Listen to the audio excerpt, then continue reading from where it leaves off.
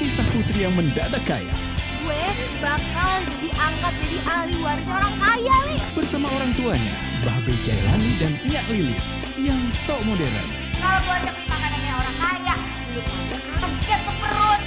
Ada ahli sahabatnya yang naksir sejak kecil. Ah, ini mau dibuang juga. Katanya lu nggak sayang itu kalau dibuang semua.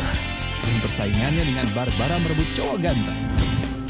Putri Petek di TV.